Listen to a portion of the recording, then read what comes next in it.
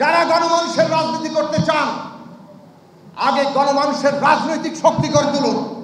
আমরা সকল দলকে মাঠে নামাতে চাই, কিন্তু সকল দলই যে গণমানুষের স্বার্থের প্রতিনিধি, এটা আমরা মনে করি না। কাজেই ফ্যাসিবাদের পতনের সকল দলকে মাঠে নামাতে হবে। একই সাথে গণতন্ত্র এবং গণমানুষের স্বার্থের যারা প্রতিনিধি, তাদের ঐক্যবদ্ধ হতে হবে।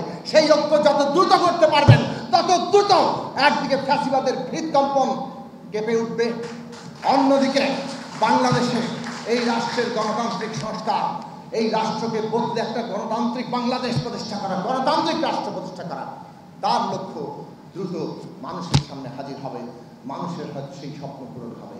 আজকের বাংলাদেশে এটা খুব খোলাখুলিভাবে পরিষ্কার করে বলতে হবে আমাদের যে একটা ফ্যাসিস্ট শাসন এইখানে কায়েম আছে। এবং তারা মুক্তিযুদ্ধের চেতনা, এটা লক্ষ কোটি বার না কেন, তারা ফ্যাসিস্ট এবং তাদেরকে ক্ষমতা থেকে জনগণ লড়াই করে উত্থাপ করবে উত্থাপ করতে হবে। এটাই বাংলাদেশের বাস্তব। আমরা কি বাংলাদেশের একটা গণতান্ত্রিক ভবিষ্যৎ কল্পনা করতে পারি? ভালো করে ভেবে দেখুন। যদি আমরা বাংলাদেশের একটা গণতান্ত্রিক ভবিষ্যৎ কল্পনা করতে না পারি, তাহলে লক্ষ লক্ষ মানুষের আত্মত্যাগের বিনিময়ে যে রাষ্ট্রটা পত্তন হয়েছে, আজকের পরিবর্তিত বিশ্ব বাস্তবতায় এই রাষ্ট্র টিকে থাকবে না। এই রাষ্ট্রের সার্বভৌমত্ব টিকে থাকবে না। যে জাতি কিংবা জনগোষ্ঠীর অভ্যন্তরীণ সংহতি নাই, একটা জনগোষ্ঠীর ঐক্য রক্ষা করার জন্য রাজনৈতিক ব্যবস্থা কার্যকর নাই, সেই জাতি জনগোষ্ঠী টিকে থাকে না। এবং বর্তমান পরিবর্তিত বিশ্ব বাস্তবতায় এটা চোখে আঙুল দিয়ে দেখানোর দরকার নাই। একটু তাকিয়ে দেখুন কীভাবে বিভিন্ন শক্তি তাদের নিজেদের আধিপত্য বিস্তারের প্রতিযোগিতায় মত্ত। আর ছোট ছোট রাষ্ট্রগুলো তার বলিতে পরিণত হচ্ছে। বাংলাদেশ ভৌগোলিকভাবেও এমন একটা এলাকায় আছে যে বাংলাদেশ এই আশঙ্কার কোনোভাবেই বাইরে থাকতে পারে না। কাজে বাংলাদেশ টিকে থাকার এখন অস্তিত্ব পূর্ব শর্ত হচ্ছে এই দেশে একটা ন্যূনতম গণতান্ত্রিক ব্যবস্থা কার্যকর থাকা, যা এই জনগোষ্ঠীকে ঐক্যবদ্ধ রাখতে পারবে। কিন্তু বর্তমান সরকার মানুষ যাতে কোনোভাবে ঐক্যবদ্ধ না হতে পারে ক্ষমতা আর গদি রক্ষার জন্য যেভাবে পারো মানুষকে বিভক্ত করো, প্রয়োজনে এমনকি দেশকে দাসানুগত করো, সেই সব করেও তারা ক্ষমতা টিকে রাখতে চায়। কথার ফুলঝুরির কোনো কম নেই। যেমন আমরা বলি, তিরিশ লক্ষ মানুষ শহীদ হয়েছে। হয়তো তার চাইতে বেশি হয়ে থাকতে পারে। কিন্তু আমরা আজ পর্যন্ত তার তালিকা পেলাম না। এমন একটা রাষ্ট্র মুক্তিযুদ্ধের চেতনার কথা বলতে বলতে ফেনা ফেলে ফেলে। সেটা রক্ষা করার জন্য মানুষের ভোটের অধিকার কেড়ে নেওয়া থেকে শুরু করে গুম, খুন কোনো কিছু বাদ দিতে হয় না। কিন্তু সেই রাষ্ট্র তার জন্মের সময় যে যুদ্ধ করল, সেইখানে তিরিশ লক্ষ মানুষ নিহত হয়েছেন, শহীদ হয়েছেন বলে তারা প্রতি মুহূর্তে দাবি করেন। কিন্তু তাদের আজ পর্যন্ত একটা তালিকা তৈরি করতে পারে এবং মুক্তিযোদ্ধারা নিশ্চয়ই আমাদের নমস্য তাদের যথাযথ সম্মান প্রদর্শন করা এই রাষ্ট্রের কর্তব্য। যদিও মুক্তিযুদ্ধ কোনো স্থির ব্যাপার নয় এবং এটা উনিশশো একাত্তর সালে স্থির হয়ে থাকেনি। সবাইকেই প্রমাণ দিতে হয়। দু সালের মুক্তি সংগ্রাম আপনি কোথায় আছেন? সেটাও কিন্তু জনগণ দেখে। এবং আজকের সময়ের বিচার নতুন মুক্তিযোদ্ধা তৈরি করে, নতুন মুক্তিযোদ্ধাকে সম্মানিত করে।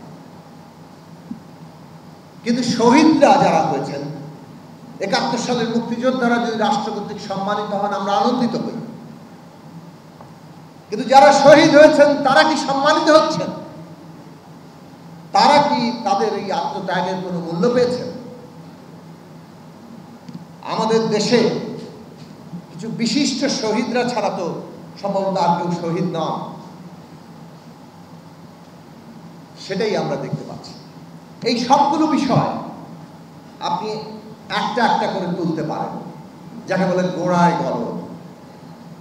এবং গোড়ার গলদ তুলতে গিয়ে বোঝা যায়, একান্ন বছরে এসে আমাদের রাষ্ট্রটা এই জায়গায় কীভাবে আসতে পারল। আমি আজকে বক্তব্য দীর্ঘায়িত করব না। আমি শুধু এইটুকু বলব জননেতা জোনায়েদ ভাই বক্তব্য আসছেন জননেতা জোনায়দ ভাই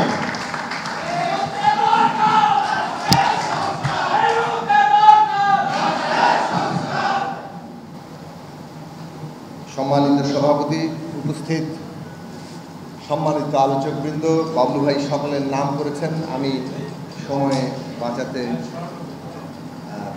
নাম করছি না, আপনারা সবাই ইতিমধ্যে শুনেছেন। অত্যন্ত সম্মানিত মানুষরা এখানে আছেন। এবং আপনারা যারা শুনছেন, সম্মানিত শ্রোতৃবৃন্দ, আপনাদের সকলকে সালাম জানাচ্ছি, শুভেচ্ছা জানাচ্ছি।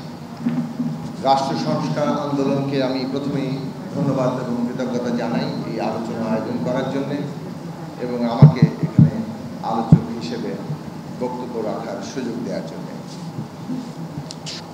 রাষ্ট্র সংস্কার আন্দোলন একটা প্রাথমিক বক্তব্য স্থাপন করেছে। সেই বক্তব্যে বলা হয়েছে যে আজকের দিনটি বাংলাদেশে যতগুলো গুরুত্বপূর্ণ দিন আছে, তার মধ্যে কিন্তু এই গুরুত্বপূর্ণ দিনটি আমি নিশ্চিত নই তবু বলছি যে সম্ভবত রাষ্ট্রীয়ভাবে উদযাপিত হচ্ছে না। এবং এটা আশ্চর্যের বিষয় নয়